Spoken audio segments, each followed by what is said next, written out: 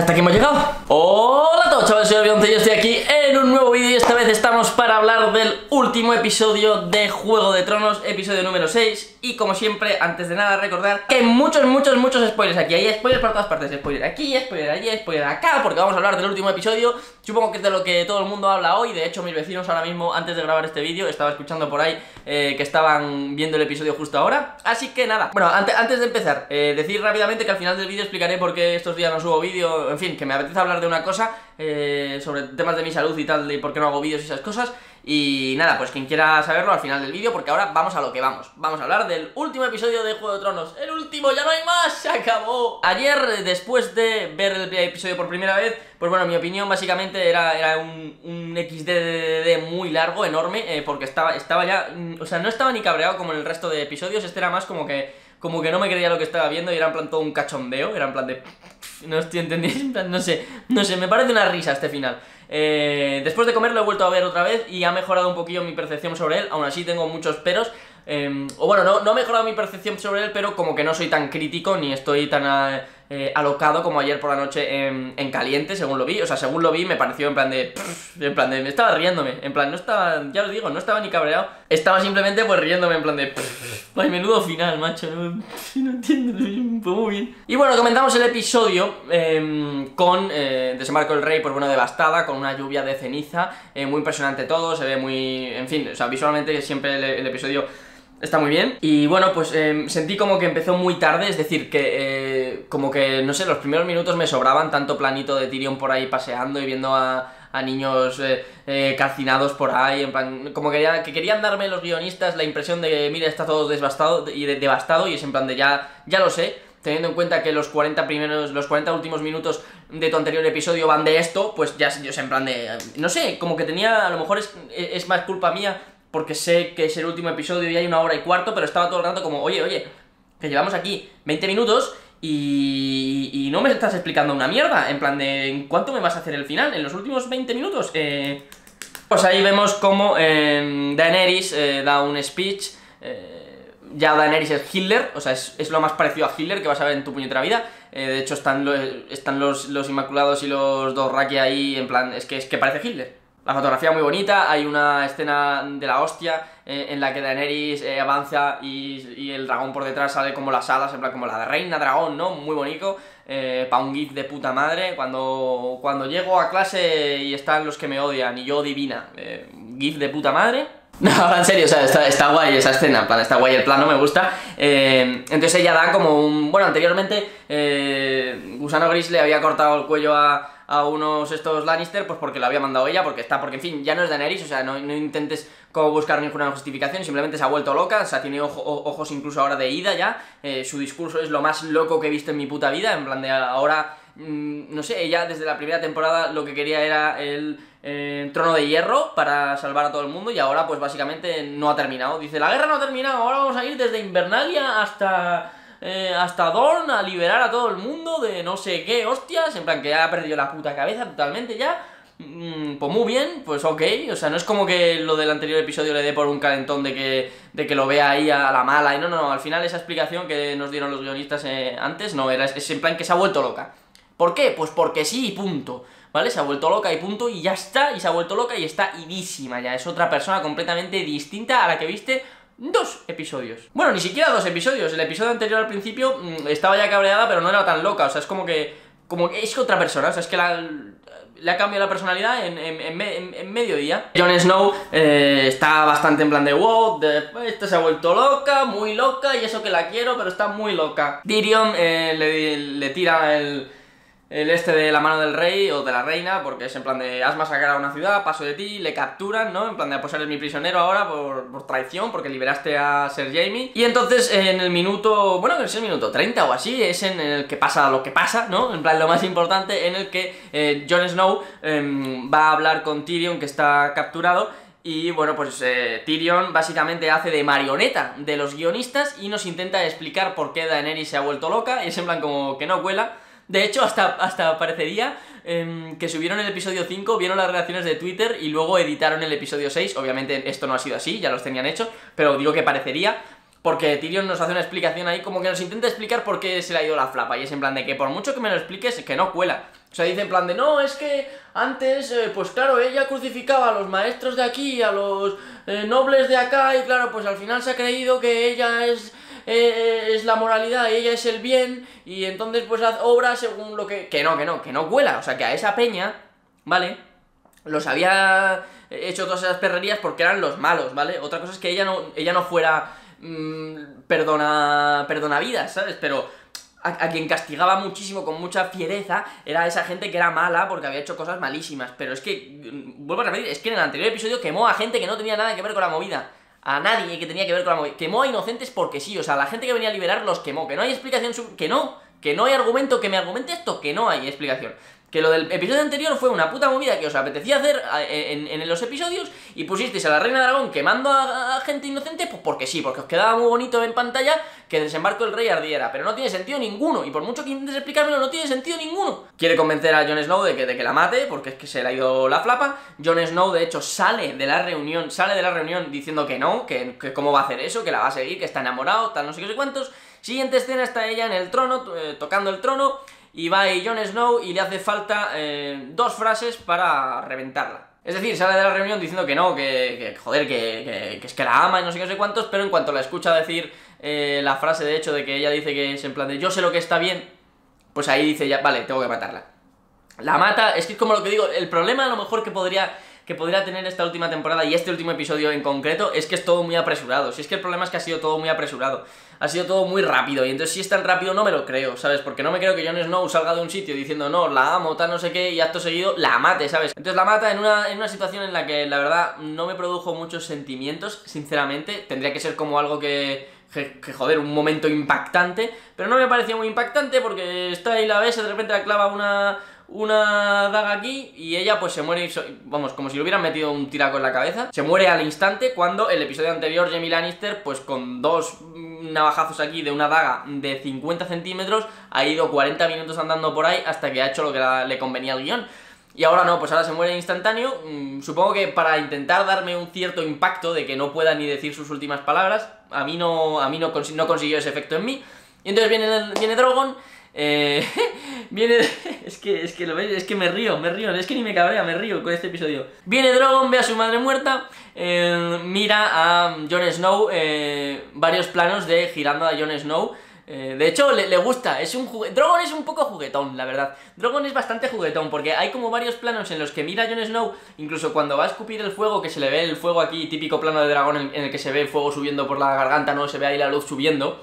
entonces le mira como que le va a quemar por lo que ha hecho, porque ha matado a su madre y de repente hace ¡Que no! Es que te juro que hace ese gesto, hace en plan ¡Que no, que es broma! ¡Que el fuego va para allá, tonto! Que es que te creías que te iba a matar, menudo tonto No, no sabes nada, no sabes nada, Juan Y bueno, pues se pone a escupir fuego porque está muy cabreado porque su madre ha muerto Y quema el eh, trono de hierro que bueno, es una imagen impactante, impactante e intento, o sea, entiendo, creo entender lo que me quieren transmitir con esto, que es básicamente pues que, en fin, el, trono eh, además eh, fue forjado, eh, o sea, todas las espadas se fundieron con fuego de dragón y como que ahora pues el dragón destruyendo el, el trono de hierro, pues en fin, tiene como cierto significado y tal, pero vale, tiene cierto significado, lo que no tiene sentido ninguno, porque el dragón se tira ahí como tres horas escupiendo fuego así y de repente lo centra en el este porque ahora, pues, pues eso, pues como vi un, un memillo ayer, pues, pues eso, pues Drogon diciendo el, el,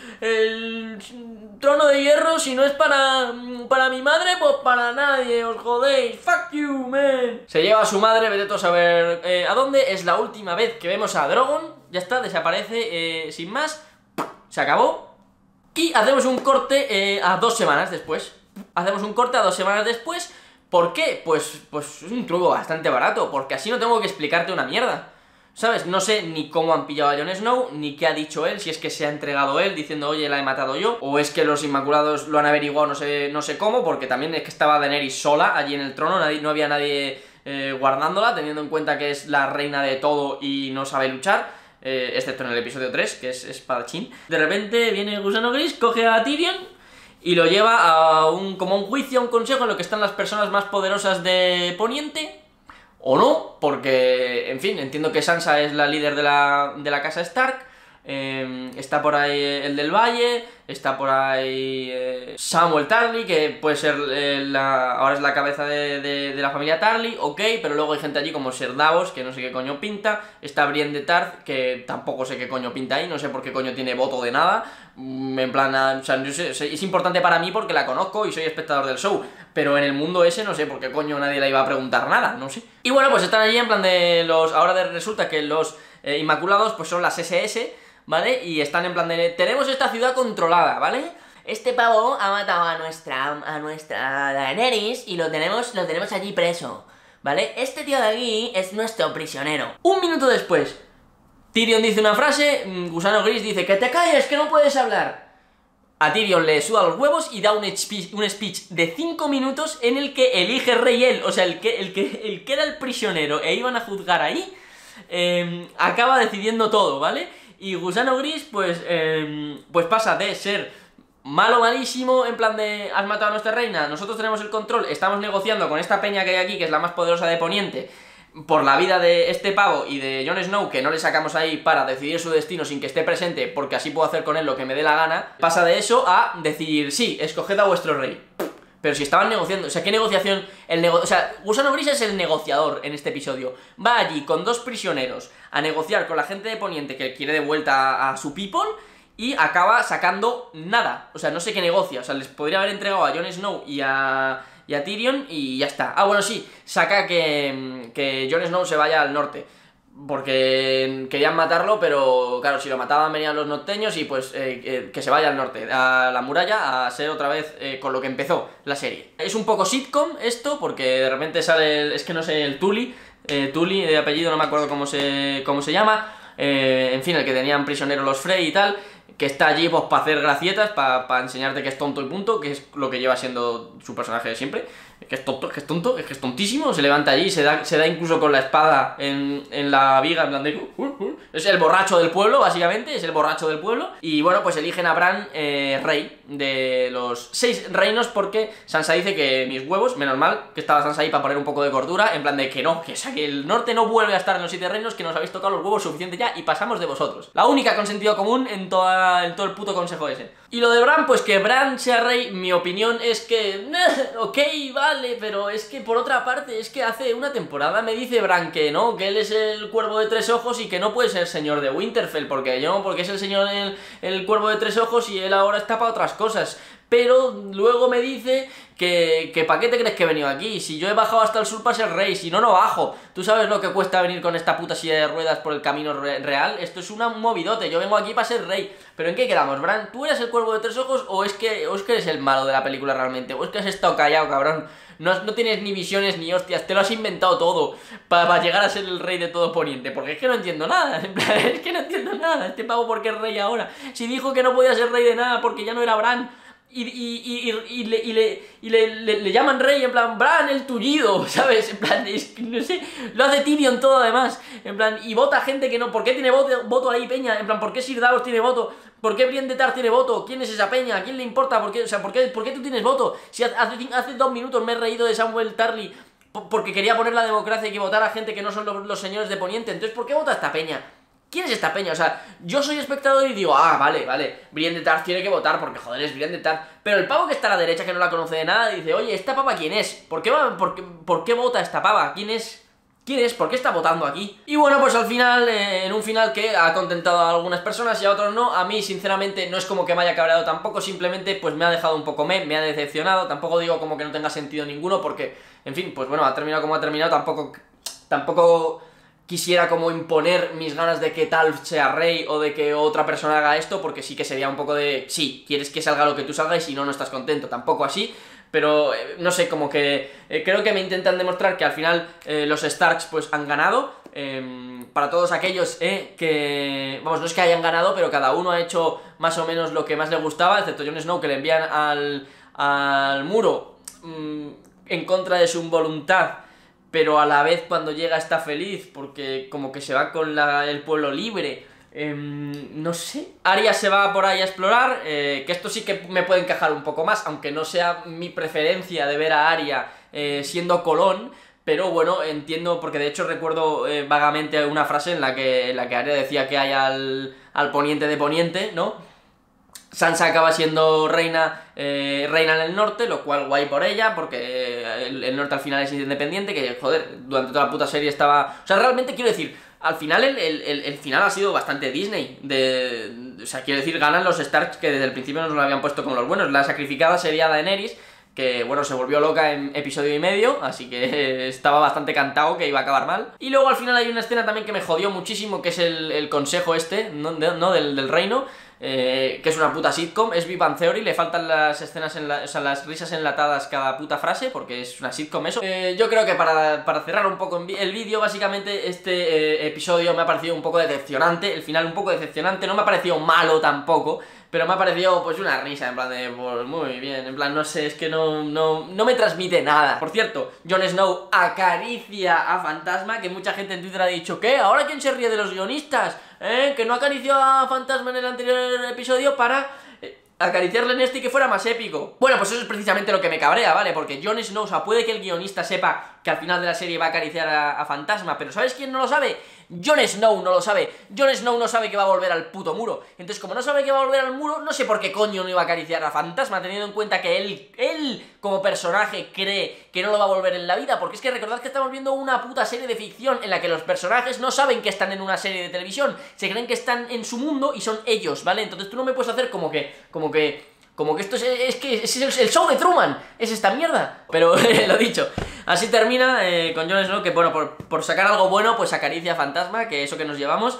El pobre, el pobre lobo recibió, recibió su acariciada, menos mal. Y nada, aquí termina, así que espero que le deis un like y a la campanita si queréis más vídeos, eh, ver más vídeos de, de este tipo, ¿vale? No con Juego de Tronos porque ya ha terminado, estamos tristes porque ya ha terminado eh, un camino muy largo, que a lo mejor no ha terminado como a nosotros nos gustaría, otras personas sí, pero ha sido un camino muy largo y lo hemos disfrutado en general. Coño, vamos a ser honestos. ¿Lo hemos disfrutado o no en general? Joder, venga, vamos, hostia, alza. ¿Lo hemos disfrutado o no? Y bueno, ahora rápidamente comentaros que lo que decía al principio del vídeo, básicamente estos días que no estoy haciendo directo, porque bueno, eh, sabéis que hago directo en Twitch todos los días, eh, teóricamente eh, a mediodía prácticamente, y a veces por la noche, pero estos días ni he subido vídeo ni he hecho en directo, básicamente porque últimamente tengo mil problemas de salud, eh, salgo de una y me meto en otra, y ahora estoy con una medicación para el estómago que me hace sentirme bastante mal, y por esa razón pues eh, no he hecho no he hecho vídeos y eso porque me, me encontraba mal básicamente. Eh, sigo tomándola, eh, hoy ahora he podido grabar esto, no sé si mañana, no sé, estoy, estoy como... Es un poco frustrante para mí, sinceramente, eh, el no tener salud suficiente para poder hacer lo que a mí me dé la gana y tener que estar todo el rato rincante o como coño se diga, que no me acuerdo de la palabra ahora. Pero en fin, como que voy ahí todo el rato intentando mejorar y poder estar, aunque sea bien de salud, para poder hacer luego otras cosas, pero me cuesta, me está costando. Pero nada, simplemente quería como dar una explicación de por qué hay a veces que de repente desaparezco dos días y no hago vídeos en dos días o tres, y es por esta razón. Así que bueno, esperemos que todo mejore y se me quita ya toda la mierda y, y ya podemos ser felices y comer perdices. Así que nada, Espero que os haya gustado, darle como digo al like y darle también a la campanita para que os avise de los vídeos, comentad abajo con vuestra opinión como siempre, y nada, siempre like, favorito si tenemos a todos, y un saludo chavales, ¡chao!